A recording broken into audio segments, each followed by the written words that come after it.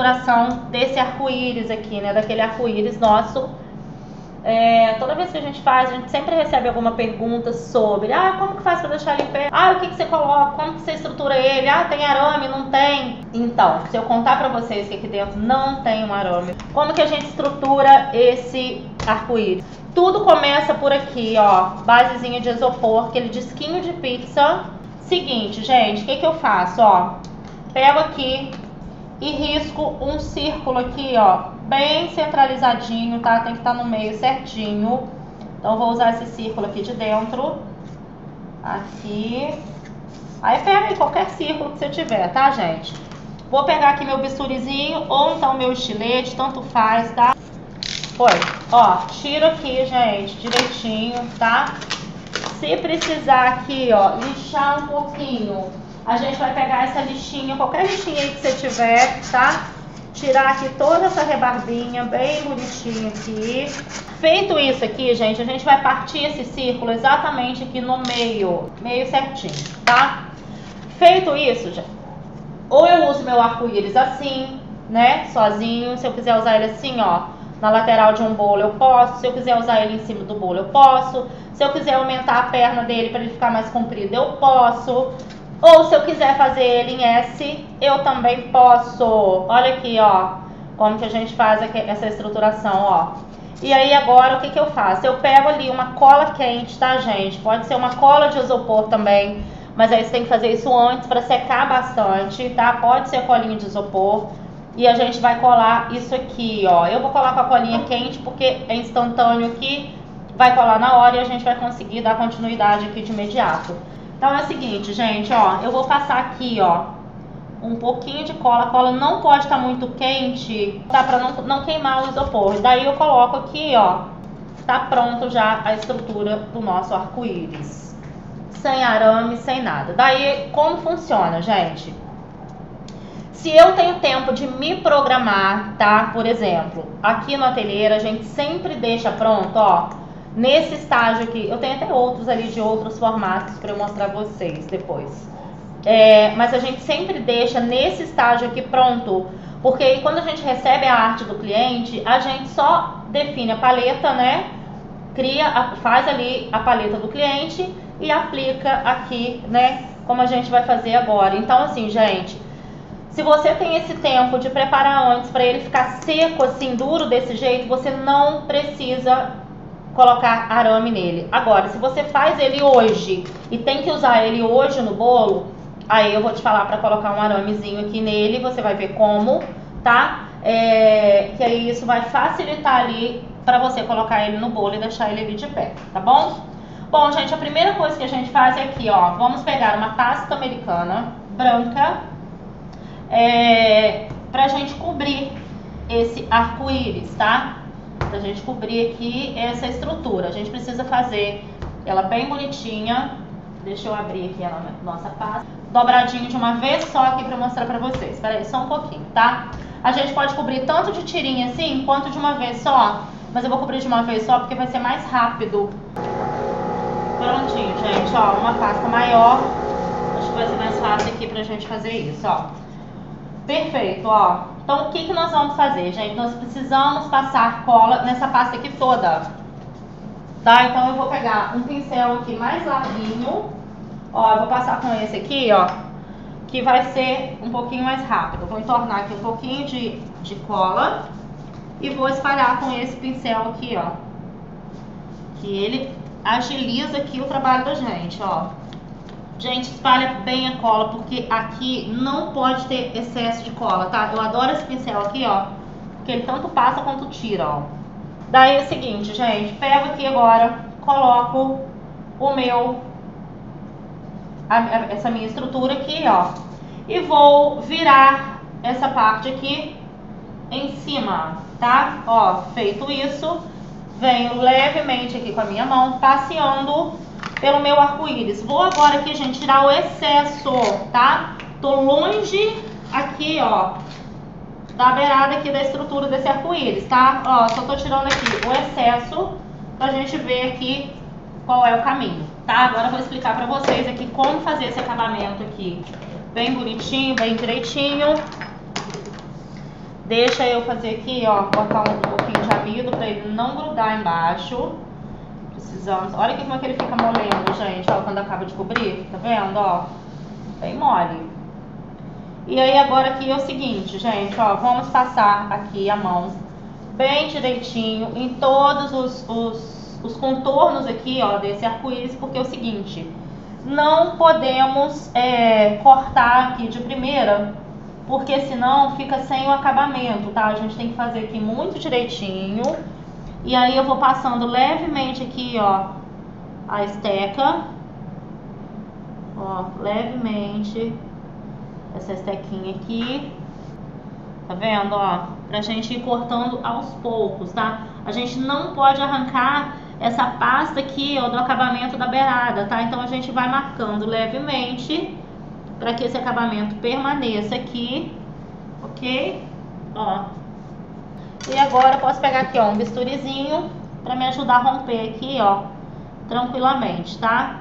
Enfim, agora a gente vai se certificar aqui, ó, de que nós estamos aqui com esse acabamento direitinho, ó, não tem isopor aparecendo em lugar nenhum, tá todo bonitinho, ó. Mesmo assim, gente, depois a gente coloca um acabamentinho aqui, ó, com, com aquele cordãozinho de bolinha é, de acabamento, ou faz com glacezinho, que fica impecável também. Se você vai usar esse arco-íris agora, por exemplo, né? Ah, eu vou usar ele agora, gente. Agora sim, daqui a pouco ali no meu bolo. Então não tem jeito, gente. O que, que você vai fazer? Vai pegar um arame e vai ter que passar aqui nele todo. Vai pegar o arame aqui, ó, e vai colocar daqui até aqui, tá vendo, ó? E vai colocar outro também, ó. É, olha só, gente, tá vendo? Então eu faço isso aqui, tá? E aqui eu faço da mesma forma. Você pode tanto emendar quanto colocar assim só, ó. E aí aqui em cima agora a gente pega e coloca uma pastinha de flor. Então ele fica aramado e aí ele vai ficar estruturado para você conseguir usar ele de imediato. Imediato assim, tá, gente? Esperando um pouquinho ali para isso aqui secar, ok? E aqui em cima agora a gente abriria uma outra pasta, tá? A gente viria aqui agora com uma outra pastinha, só que seria uma pasta de flor e a gente passaria aqui prendendo tá? Esse arame aqui, ó, nele, esse aqui a gente não vai aramar, só tô explicando para vocês como seria para colocar esse arame aqui para você conseguir usar ele de imediato, tá? Ele não vai quebrar, tá vendo, ó? Ele não quebra, ó. Mesmo molinho, a gente consegue. Eu, quando eu tenho que fazer ele mole assim e colocar no bolo para dar algum movimento, a gente até cobre ele assim, ó, já coloca lá direto no bolo e depois a gente faz os acabamentos a gente coloca palito lá no bolo, palito saindo, né, do bolo, coloca glacê, encosta o arco-íris, coloca tag atrás, o nosso arco-íris tá leve, ó, levinho, tá super estruturado, ele não vai dobrar, ele não vai quebrar, não vai acontecer absolutamente, gente, nada com o nosso arco-íris, nada, nada, nada, nada, tá? Eu garanto pra vocês. Então, ó, façam com antecedência, tá? Que tudo vai ficar legal. Bom, vamos lá. Feito isso, né? Feito essa etapa aqui, ó, pronta dois dias, três dias, uma semana. Vamos pegar nossos coraçõezinhos aqui de amor. Olha aqui, ó, já deixei preparadinho aqui as cores que nós vamos usar para fazer o nosso arco-íris, tá bom? Então, gente, agora aqui, ó, é essa amiguinha aqui, ó, que é a extrusora que arrebenta a nossa mão, mas que é a nossa amiga inseparável, né, na confeitaria. Ela tem peças lindas e que nos ajudam muito aqui, ó, a fazer esses acabamentos incríveis, tá? Então nós vamos começar aqui, ó, com coraçãozinho lilás, tá? Coraçãozinho lilás, eu quero ganhar coraçãozinho vermelho. E vou amassar meu coraçãozinho lilás. E aí é o seguinte, gente, ó. Bota aqui. Já venho aqui, ó, na minha primeira camadinha, já vou passar a cola, tá? Não preciso passar nele todo, porque o ar tá ligado aqui, ó, a gente vai perder se a gente passar nele todo. Mas já passo, antes de abrir na extrusora, eu já passo pra quê? Pra que ele fique é, bem adesivinho, tá? Gente, a pecinha que eu uso pra fazer aqui, ó, é essa pecinha aqui, meia lua, de cima, ó.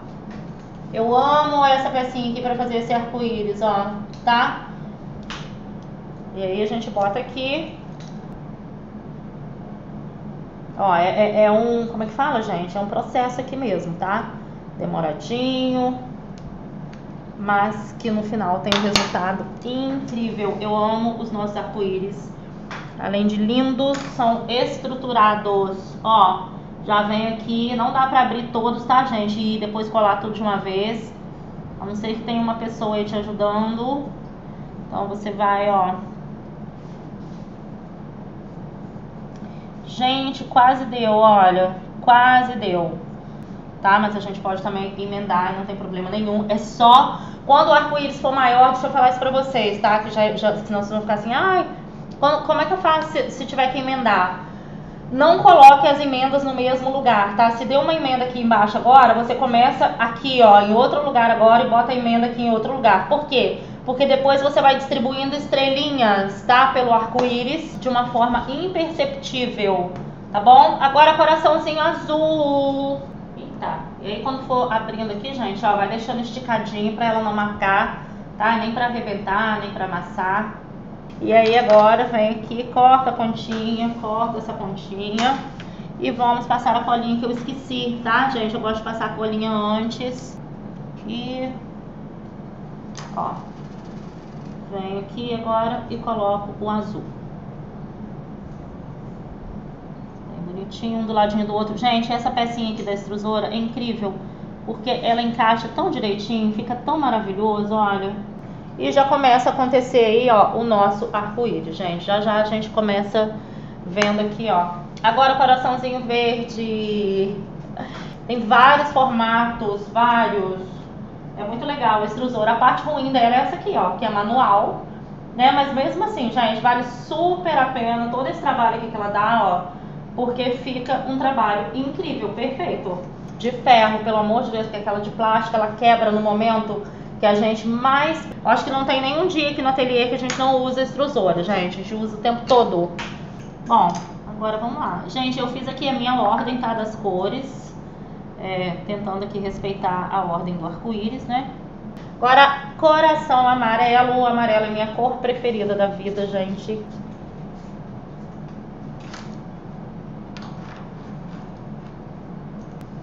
Prontinho. Amarelo pronto. Tira pra mim.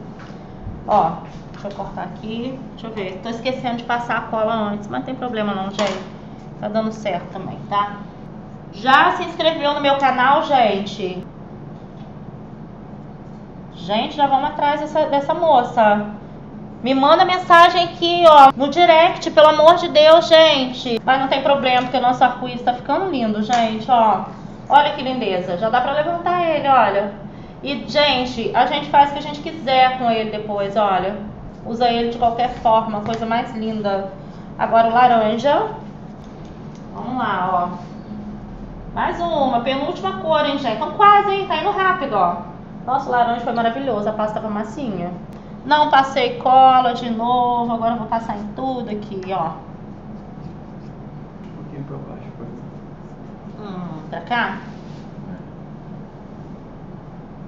Foi. Coloca aqui a laranja agora.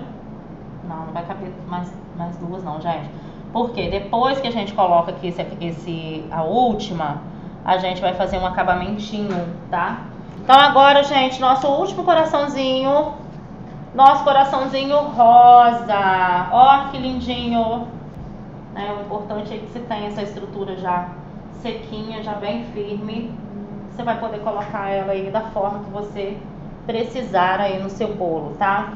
A gente monta uma estrutura fake para analisar, para ver né, a altura direitinho desse arco-íris, a largura ideal, né? Faz um planejamento ali para entender, né, todas as possibilidades ali que você vai ter. O meu arco-íris eu acho que eu vou conseguir passar, se eu puxar aqui, ó, eu vou passar mais uma cor aqui, ó. Vai dar pra gente apertar aqui um pouquinho, ó. Deixa eu pegar aqui essa, essa esteca e eu vou passar o vermelho. Tá vendo? Ó, eu vou diluir aqui pra ficar um vermelho bonito. um tom depois do meu rosa, mas não um tom escuro. Aqui. Ah, agora vai, ó. Agora a gente tá dentro da paleta aqui. Ó. Última cor, que nem ia mas acabou entrando. Aí eu faço isso aqui, ó, pra afinar ela um pouquinho, tá? Porque ela vai ter que entrar mais fininha ali do que todo mundo. Vou reforçar aqui a minha colinha. Ó, última corzinha, gente. Ah, que lindo, olha. Fechou com chave de ouro. Ficou com sete cores. Perfeito nosso arco-íris, gente, olha. Então, olha aqui, gente, nosso arco-íris maravilhoso. Quero mostrar pra vocês aqui o degrau, ó. É uma leve, tá vendo? Assim, um leve movimentinho que dá, cadê? Ó, nem dá pra perceber, gente. Fica imperceptível. Esse nosso aqui ficou com zero emenda, ficou com uma emendinha aqui só. Onde vai entrar aqui essa nuvenzinha no pé, ó. Coisa mais linda, tá? Aqui em cima também vai entrar outra nuvem. Ó, uma nuvenzinha aqui em cima tá? E aí, assim, se for ursinhos carinhosos, ou se for unicórnio, olha, gente, ou se for jardim, enfim, você pode usar o seu arco-íris aí no tema que você achar que cabe, né? Outra coisa, caso você queira aqui, ó, fazer essa etapa aqui antes, ah, eu quero fazer e vou deixar aqui, ó, pronto, mas prefiro colocar arame na ponta, tá? Para facilitar aqui, ó, enfio um arame aqui não tem problema o arame ficar aparecendo, tá? Pego aqui, ó, outro pedaço. Enfio outro arame aqui, ó. Gente, só funciona isso aqui se você deixar secar igual o meu secou aqui, ó, por dias, tá? Não dá pra fazer agora e usar daqui a pouco, não. Porque quando você for enfiar isso aqui no bolo, vai romper aqui a pasta. Só vai funcionar quando essa pasta estiver dura aqui, ó, igual o nosso amiguinho aqui. Nossa live de hoje, espero que tenha sido legal aí pra vocês. Olha lá um monte de coração. Vocês gostaram, gente? Manda, manda like. Agora eu aprendi que chama like.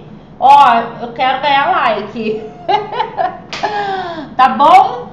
Bom, amores, é, é isso. Obrigada, obrigada pelo carinho, obrigada por estarem aqui mais uma vez comigo tá? E quinta-feira, não sei ainda o que, que é a live, gente. Quinta-feira, não tem ainda programada. Nós vamos pensar em alguma coisa muito especial. O que, que vocês querem ver aí na live, gente? Me conta. Deixa, Deixa aí nos comentários pra gente, tá?